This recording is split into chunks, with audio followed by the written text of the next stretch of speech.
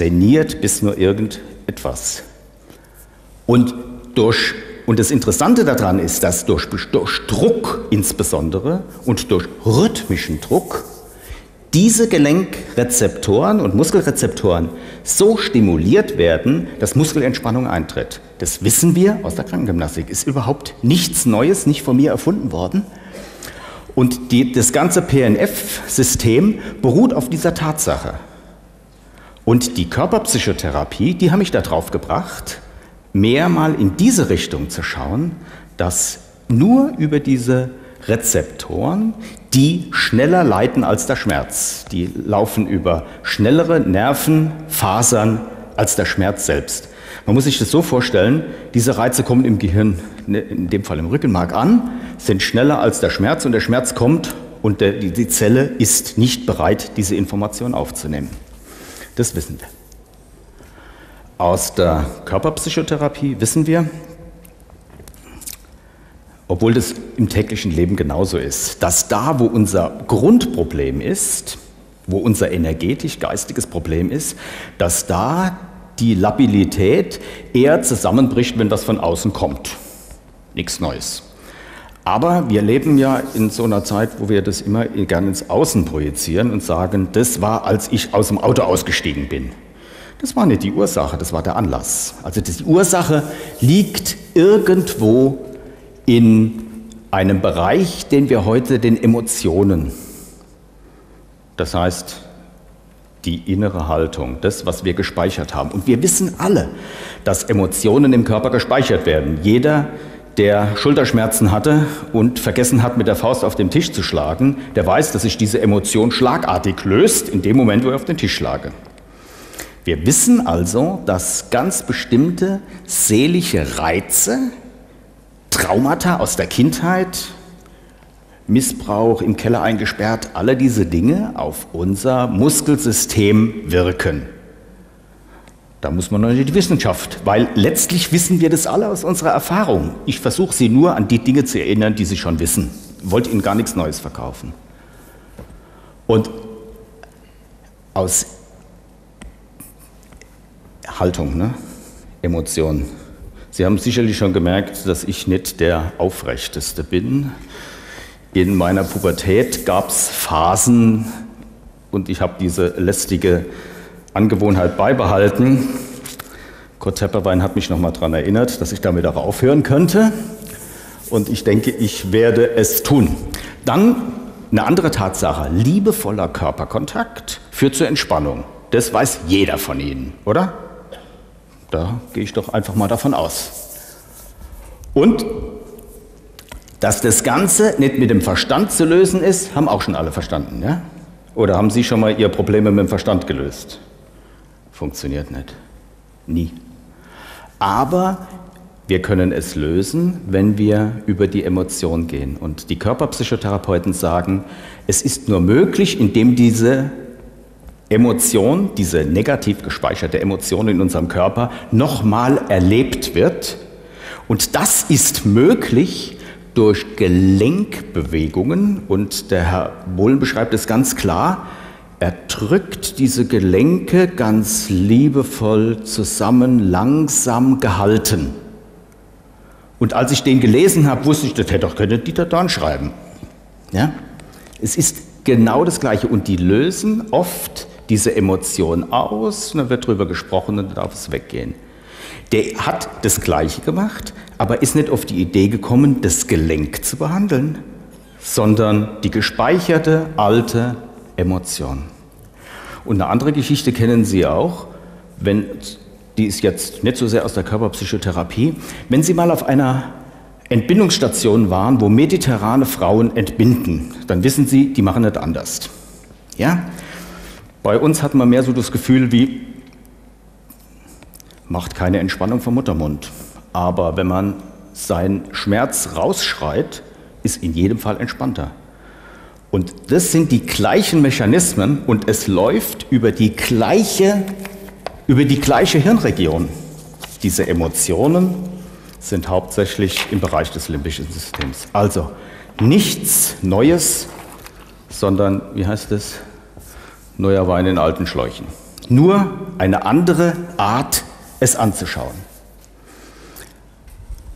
Aus der Hirnforschung und aus dem, was Kurt Tepperwein eben gesagt hat, können wir schließen, und wir wissen das auch, dass der Mensch bestrebt ist, glücklich zu sein und in seiner Mitte zu sein. Und diesen Effekt, den können wir uns zunutze machen. Und sollten wir uns auch zunutze machen.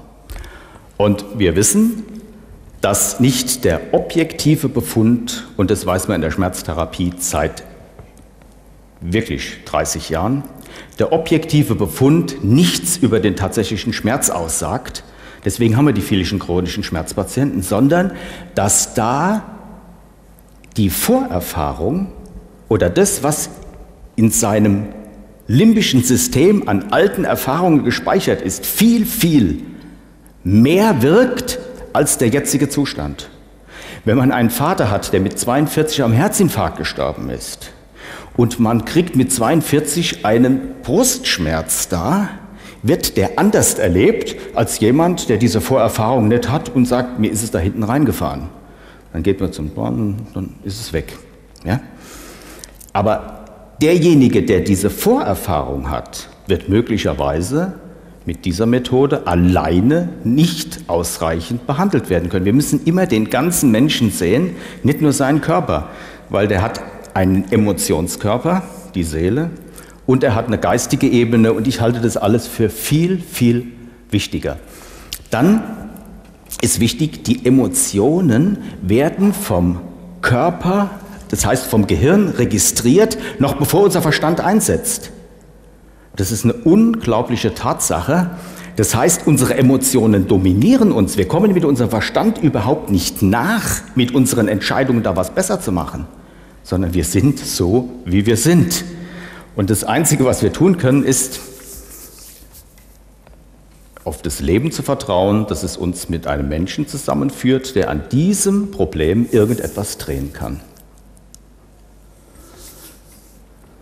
Ich habe Herrn Professor Spitzer aus Ulm zum ersten Mal gehört über Hirnforschung, wie es mit Kind, weil ich habe jetzt eine siebenjährige Tochter, die in der zweiten Klasse geht und ich musste mir das anhören, was der da sagt, wie man lernt. Die geht in die freie Schule in Lindau, völlig freie Pädagogik.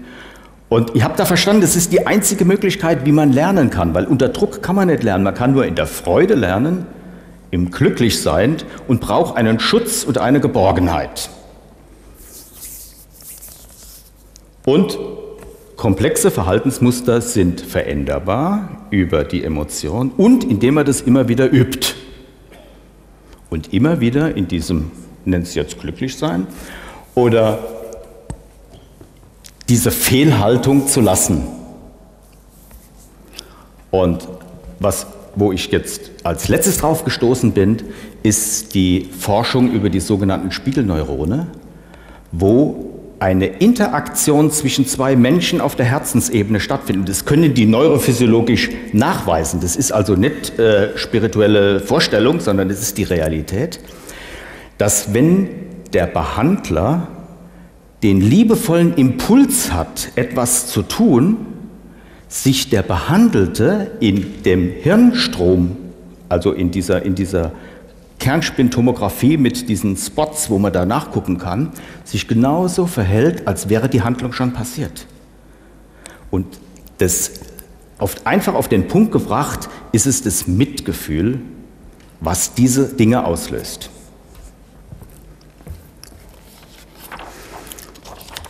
Ich hoffe, ich habe Sie jetzt genug verwirrt.